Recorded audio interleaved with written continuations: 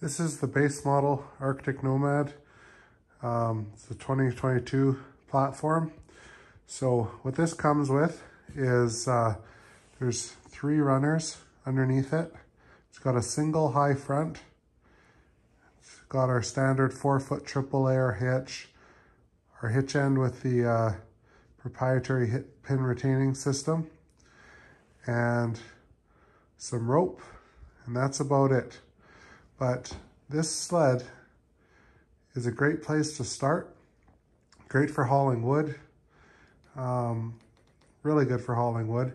And you can buy all the accessories to upgrade this toboggan over time to the Responder, which is our fully loaded model. Um, you know, you can add the fuel partitions. You can add up to six of those. You can add two layers of high side kits bring it up to 20 inches. You can add an extra high front. You can add the straps going across, the rock straps. Those are really handy. You can add um, carabiners to make it quicker to click that rope in. You can add a metal skeg to the back. Um, there's rub rails that go on the side. This body is made for them all. This is a entry level toboggan that can be upgraded over time.